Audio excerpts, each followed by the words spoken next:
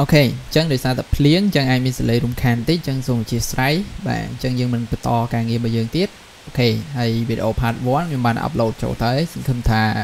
ទាំងអស់គ្នានឹងឆាប់បានមើលឆាប់ឆាប់ okay អឺនៅក្នុងវីដេអូនេះយើងនឹងបន្តរបស់យើងទៀតហើយ yeah យើងបាន connect ទៅកាន់ database រួចរាល់ហើយយើងនឹងមកមើលរបស់យើងអ្វីដែលយើងនឹងត្រូវទៅធ្វើមុនគេ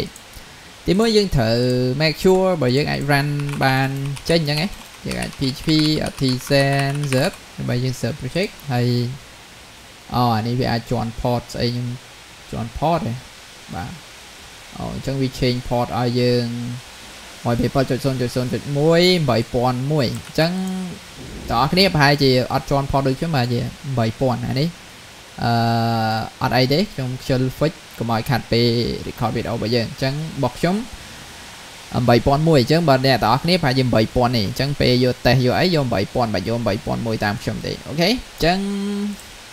ឡើងលើ browser paste ចូលអញ្ចឹងឃើញវាចេញ Laravel ប៉ុណ្ណឹងមកហើយ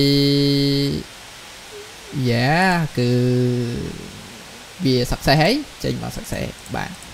ប៉ុន្តែដោយសារតែយើងធ្វើ API អញ្ចឹងយើងមិនមែនមក access នៅក្នុង web ហ្នឹងទេយើងអត់មានត្រូវធ្វើនៅក្នុង web ហ្នឹងទេគឺយើងចូលទៅក្នុង slash API ចឹងវាចេញថា not found ត្រឹមត្រូវហើយតែបានវា not found ដោយសារបើសិនជាយើងចូលទៅមើលក្នុង route បើកាលណាយើងមើលនៅក្នុង web អូខេយើងមាន route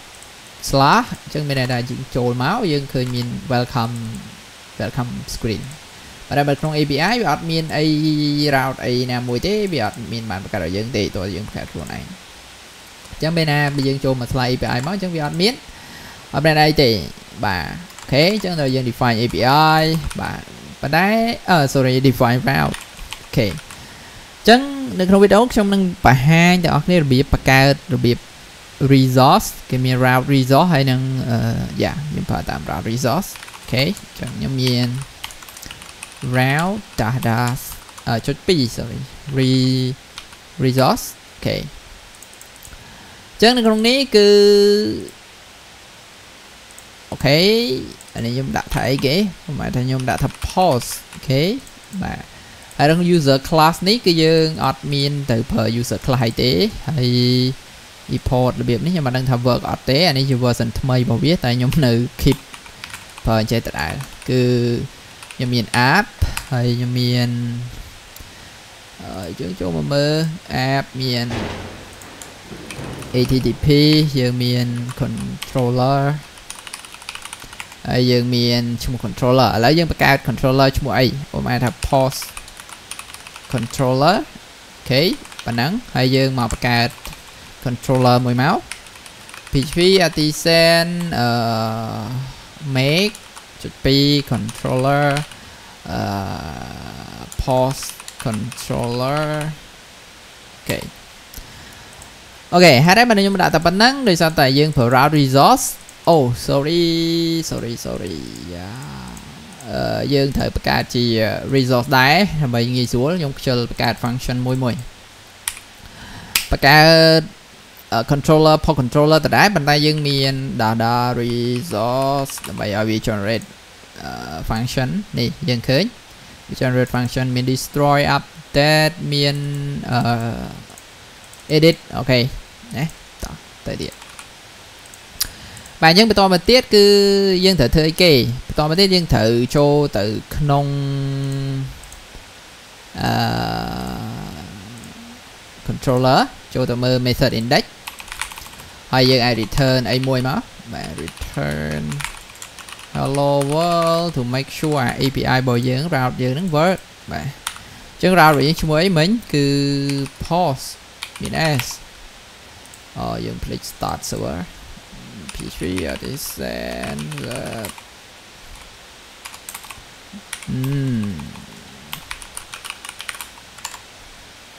អឺម okay បាទអញ្ចឹង hello world តាមទៅ absolutely right គេអឺចាអញ្ចឹងគឺបន្តមកទៀតយើងត្រូវធ្វើម៉េចបាទឥឡូវយើងដល់ពេលដែលយើងត្រូវ create database okay អញ្ចឹងបើយើង create database uh, create table sorry យើង create table អញ្ចឹងយើងត្រូវមាន model អញ្ចឹងយើង PHP artisan make model ហើយយើងអាចឈ្មោះ model របស់យើងឈ្មោះថា post អូខេហើយយើងអាចដក dash m dash f មានន័យថាអេ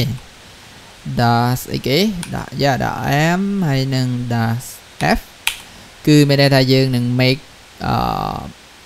make អីគេ factory ហើយនឹង migration អូខេចឹងដល់ពេលយើងបង្កើតហើយយើងនឹងចូលទៅក្នុង migrate migration ណាអូខេអញ្ចឹងយើងត្រូវទៅមើលនេះយើងទទួលបាន post បាទយើងទទួលបាន post ប៉ុន្តែអា3នេះយើងអត់ប្រើយើងលុបចោលលុបចោលមានត្រូវប្រើទេហើយ factory នេះ user factory នេះខ្ញុំសូមលុបចោលអូខេអត់ប្រើ យ៉ាសូមលុបចោលអត់ប្រើបន្តមកទៀតឥឡូវខ្ញុំទៅបង្កើត table យើងមកត្រូវពេលដែលយើងបង្កើត table យើងត្រូវមកមើលនៅក្នុង migration នេះ migration នេះជាដូចយើងបង្កើត table នៅក្នុង MySQL ហ្នឹងគ្រាន់តែយើងបង្កើតតាម Laravel អូខេយើងអាចដាក់ថា string ហើយយើងមាន field ឧទាហរណ៍ title ហើយឧបមាថាមាន title យើងមាន body អូខេអញ្ចឹងតែប៉ុណ្ណឹងមកហើយបន្តមកយើងអាច php artisan migrate បន្ទាប់មកយើងចូលនៅក្នុង database database របស់យើងឈ្មោះថា block ហើយឥឡូវយើងនឹងឃើញមាន post table មួយដែលមាន title body graded និង updated ដែរអូខេតែប៉ុណ្ណឹង អូខេមួយវិញចុងក្រោយខ្ញុំនឹងបង្ហាញដល់អ្នកគ្នាតើតងជាមួយនឹង factory factory នេះគឺយើងនឹងត្រូវប្រើសម្រាប់ធ្វើអី factory នេះគឺយើងប្រើដើម្បី create តន័យ test ធម្មតាបើសិនជាយើងមិនប្រើ factory យើងក៏អាចមក add តន័យចូលមួយមួយមួយអីចឹងដែរតែខ្ញុំចុកដៃខ្ញុំខ្ជិលអញ្ចឹងខ្ញុំអាចប្រើ factory ដើម្បីជួយខ្ញុំអូខេយើងមាន field អីខ្លះយើងមាន field title យើងមានអឺ title អញ្ចឹងយើងយកប្រើអាចប្រើ dollar this មក faker អឺ yeah point មកអីគេ point មក take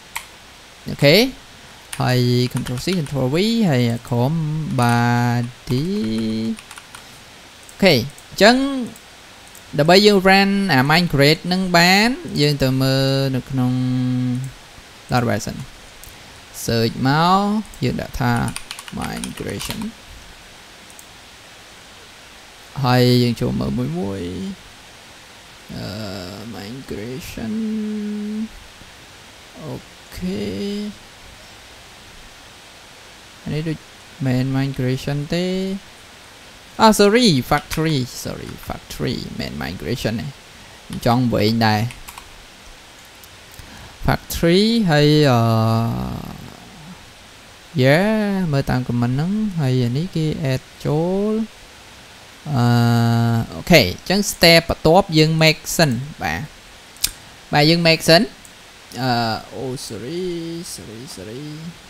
អូខេយើង make សិនអញ្ចឹងយើងអាច run បែបនេះ p